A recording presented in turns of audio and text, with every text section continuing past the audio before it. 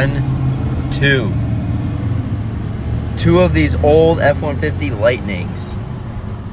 Down here heading the Pigeon Forge. Both in mint condition too.